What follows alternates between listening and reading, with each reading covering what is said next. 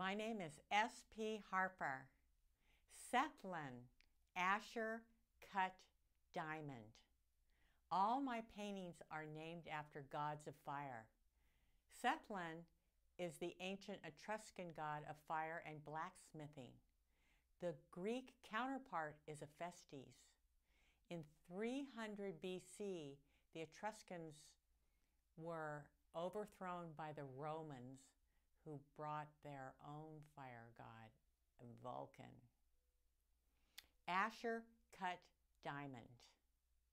Asscher is a Dutch family name.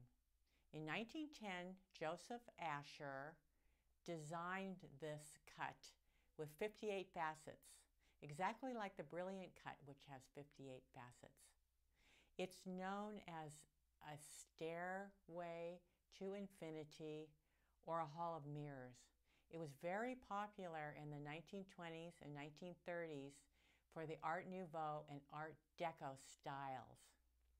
The most famous Asscher cut diamond is the Krupp diamond. In 1968, for $300,000, Richard Burton bought the Krupp diamond for his wife, Elizabeth Taylor. After her passing, her estate sold the diamond to raise money for her favorite charity, the AIDS Foundation, for $8 million.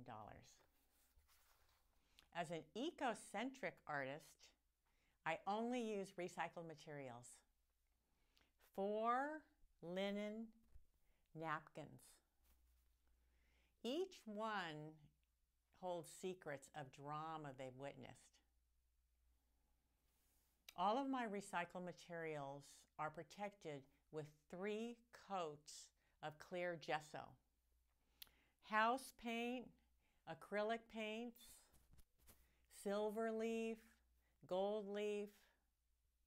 Gold leaf has a long history in art, in icon paintings. It symbolizes divinity. The holy figures would be surrounded by gold leaf. The idea comes from tie-dyeing discarded clothes. Other practices I'm interested in are kintsugi, which repairs ceramic pottery with gold. And the pattern that's created makes its own art form.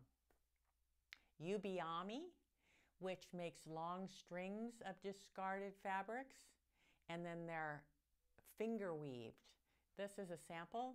They make you can make different forms with it. This is a discarded t-shirt.